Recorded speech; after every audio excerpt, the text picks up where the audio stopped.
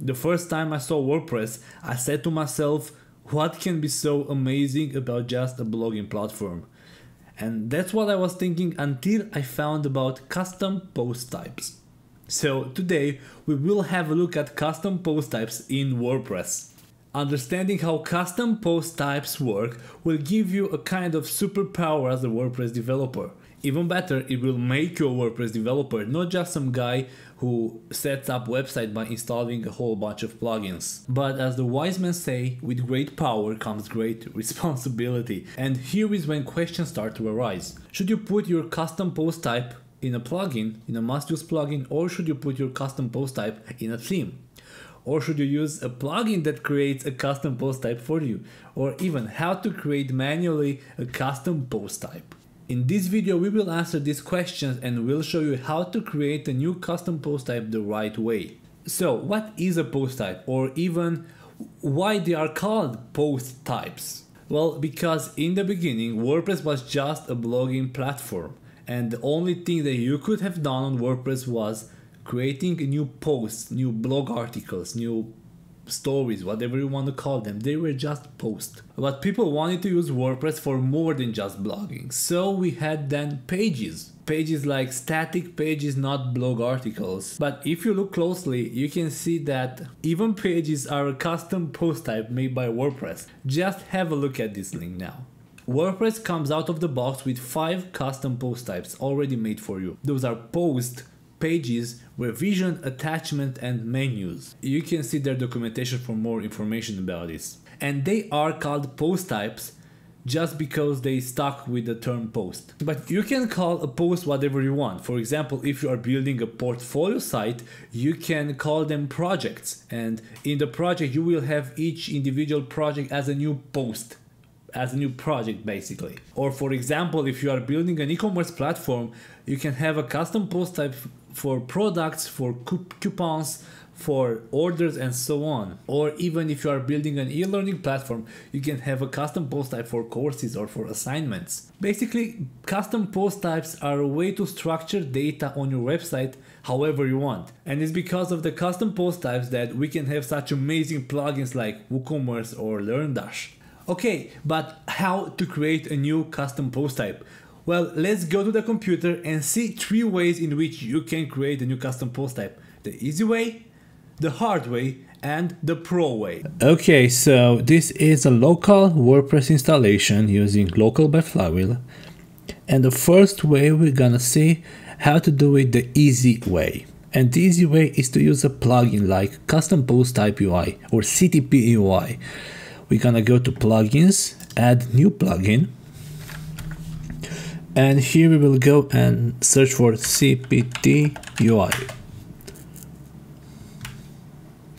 custom post type UI we will install the plugin activate the plugin and now here in this menu item we can add a new post type. So the settings that a post type needs are the slug and the plural and singular labels. So we're gonna go with movies now. Movie and movies, movie. And now uh, when we click on add post type button, a new post type will be registered. And as you can see in the menu, we have a new post type called movies and we can go there and add a new movie. Let's say add a new movie. Uh, what? Avengers. We can publish the post type, view, we can see the movie and this is everything. I have nothing set up right now. So this is how, how you can make a custom post type the easy way. Of course, we can go back and edit the custom post type if you could go back to the CPT UI, edit post type, select movies, and now we can change the slug, we can change the labels, or we can change other items. For example, let's see Let's change the menu name. We should not call movies, but we shall call them my awesome movies. Okay, let's go and save post type. You can see here that we have a lot of options. And this plugin makes it really easy because you have a UI that will help you make this easier. So after we change what we needed, we can just save the post type and now we can see here we have my awesome movies. Okay, this was the easy way to make a custom post type and this is a perfectly legitimate way. You're not less of a developer if you do it this way. I do it this way a lot of times because you don't need to reinvent the wheel every single time you make a new website. But now let's see the second way we can create a new post type and that is the hard way or the manual way. For this one we will have to use a code editor. So let's open VS Code. I will just drag it here and let's add the code needed the first thing we need to do is to make a function that we will register in an action when WordPress is running. So let's let's call it fun function this cp cpt okay. And this function should be registered should be added to the init action. Init. And the second parameter is the name of the function, of course without the parentheses. So now we have registered this function to be called when the init hook is run by WordPress. But now we have to call another function inside of this one. And this function is the one that will make the actual post type. And the function is called register underscore post underscore type. It's just like this. Register register post type. And now we have to pass it two parameters. The first parameter is the slug, or basically the way the post type should be stored in the database. And let's call it product. And the next parameter is an array. You can go with square brackets or array. I prefer square brackets because it's cleaner. So the first thing we need to add is the labels. Labels and here is another array so let's go an array and we first we have name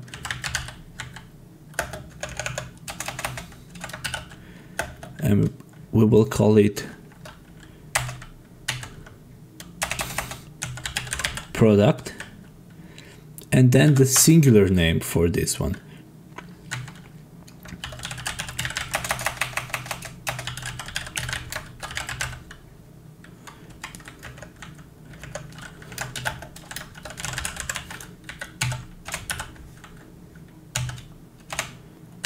After this, we will have to say if this post type is public or not. So let's go with public equals true. And let's give this custom post type an archive.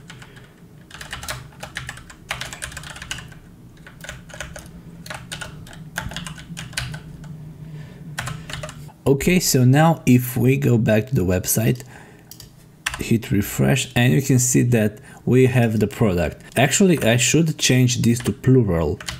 Save now product and we can add a new product. You can say this is a this is a this is a product we can just publish it we can edit it we can view post but you see in this manual way all of the settings that we had already filled in by this plugin we have to fill them out ourselves by hand.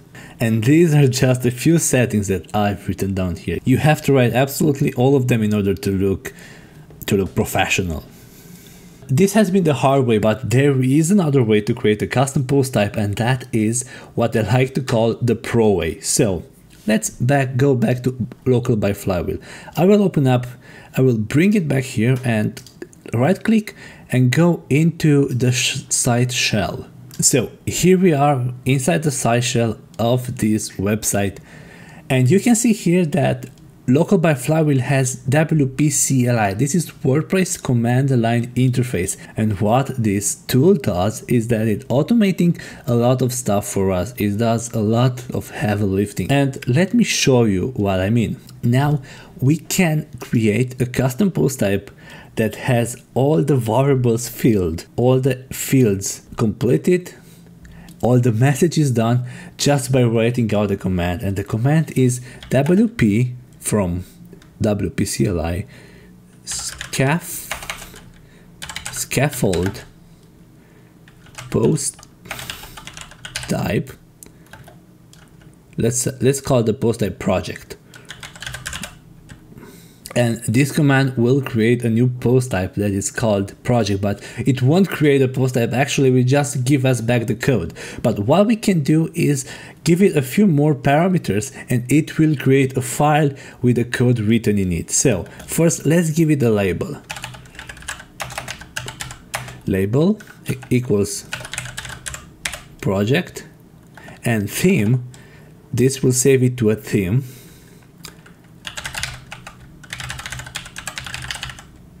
this is my, the theme that I have active on this installation. Okay, and now this tool has created a new project PHP file inside the post type folder.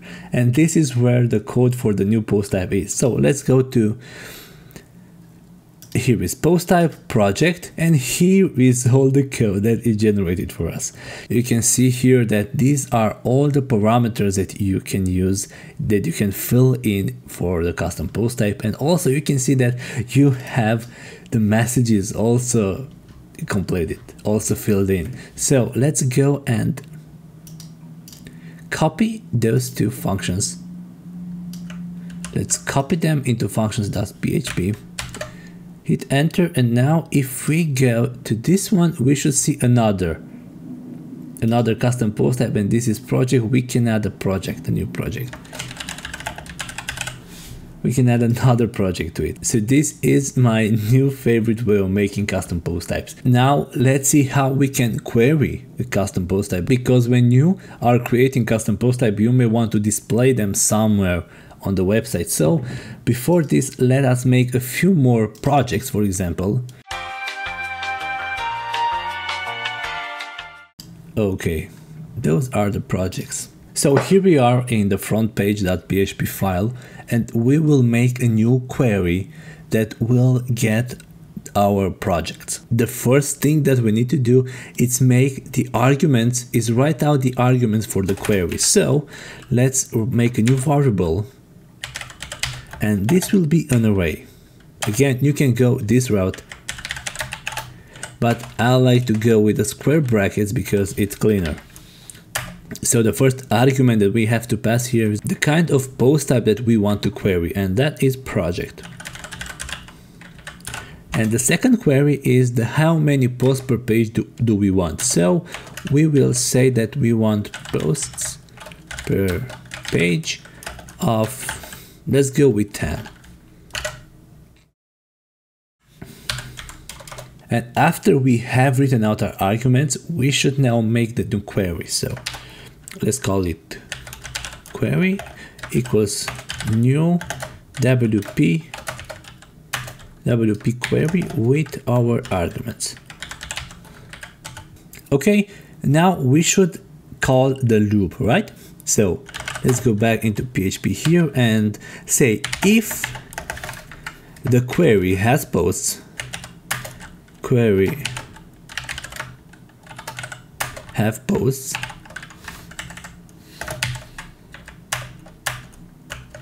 and now we should call the loop uh, while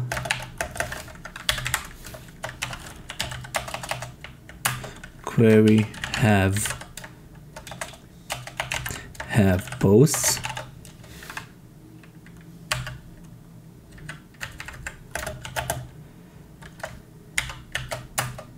query. Post. And now we should end the while. So while we have posts let's go there and in an h2 tag call the title of the post or the title of the project.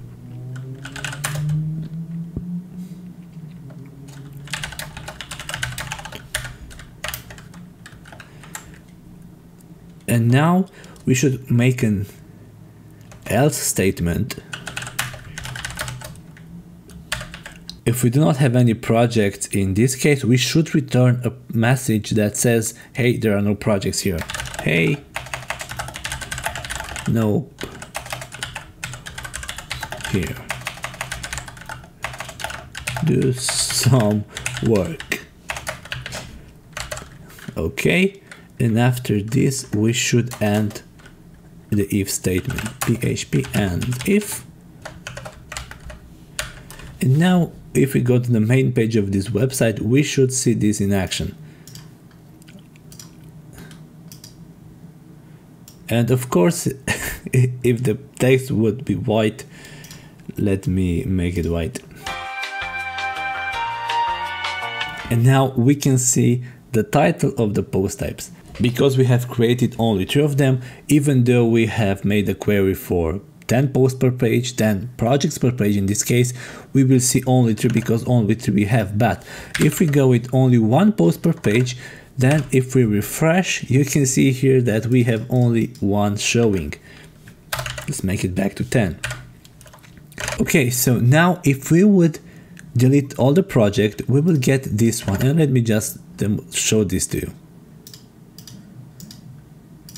And delete all of them. And now we have this text. Hey, there are no projects yet. Do some work. So this is how you query your post type. This is the most basic demonstration that I've made. You can go and query even more in depth. You can go and query with custom meta. You can go and query by uh, taxonomies and so on and so forth. But this was just a simple demonstration. Okay, we have seen now how to create a new custom post type. So let's have a look at a few best practices. Should you put your custom post type in a theme or in a plugin? Well, that depends on what you are building. If you are building a custom theme for a website, then you can put the new custom post type in the theme folders. But if you plan to change the theme in the future, then you should put it as a plugin or even as a must use plugin. Also, if you are building a theme and you plan to install it on multiple websites or even sell it on the market, then you should put the custom post types in the theme folder. That way it will help minimize the installation hassle. Okay, but should you use a plugin to do the custom post type building for you or should you write it by hand? Well, again, if you are building a theme just for a specific website or maybe for a specific client, then you can go with a plugin. You don't have to rewrite all the code for that. And even better, a plugin like Custom Post Type UI will save the custom post type regardless of the theme. So if you change the theme, you will still have the custom post type. But if you plan on distributing the theme either for free or by selling it, then you should write the code manually. Even better, you should use a tool like WP CLI. Okay, this has been a very short introduction into what custom post types are and how you can use them. If you have any question, comment down below. Don't forget to hit the like button and Tell me if in the future you want a more comprehensive tutorial or even crash course on custom post types. Thanks a lot for watching, I hope you found a lot of value and see you next time.